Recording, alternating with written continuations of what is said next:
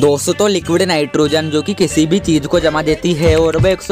degree Celsius तक ठंडी होती है लेकिन क्या हो अगर हम इसमें लावा को डाल दें पहले जब ये लिक्विड नाइट्रोजन को गर्म तेल में डालते हैं तो एक बहुत ही खतरनाक ब्लास्ट होता है और फिर एक सही सलामत आईफोन को भी लिक्विड नाइट्रोजन में डालते हैं लेकिन आईफोन भी जम जाता है और एक हथौड़ा मारने पर टूट जाता है और फिर ये लिक्विड नाइट्रोजन में वाटर हीटर को रख कर चालू कर देते हैं लेकिन थोड़ी देर में वाटर हीटर इतना गर्म हो जाता है की एक तरफ से वाटर हीटर पिघल कर टूट जाता है और फिर जब ये लिक्विड नाइट्रोजन में लावा को डालते हैं तो लिक्विड नाइट्रोजन उबलने लगती है और थोड़ी सी देर में ही लिक्विड नाइट्रोजन पूरी उड़ जाती है और आखिरी में लावा सॉलिड हो जाता है